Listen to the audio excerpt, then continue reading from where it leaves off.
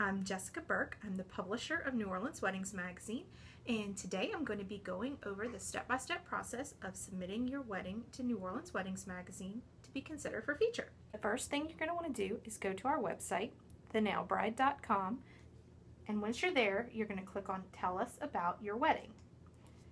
This link takes you to an online form that will allow you to enter all of your details and tell us a little bit about your wedding.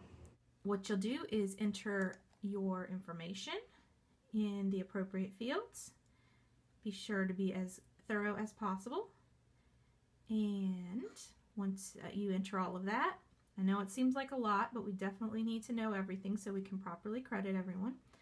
Uh, you can tell us your wedding hashtag, and most importantly, tell us where we can view your photos. Now, it's really important that you submit your wedding once your wedding photos are ready from the photographer.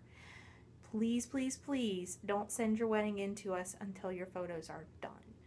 We want to see those photos, and those photos play a huge part in which weddings we select to feature. Can't have a feature without pictures to see what happened. So please be sure when you submit that those photos are ready. You can send us a link to your online gallery, to your photographer's blog, um, to the Facebook page that your photographer has your wedding posted at. So, whatever the case is, just send us those photos and make sure that they are with your submission when you send it in. We often have people ask if there's a certain type of wedding that we're looking for. Now, in to sum it up, we really are looking for New Orleans, Southeast Louisiana, um, local weddings.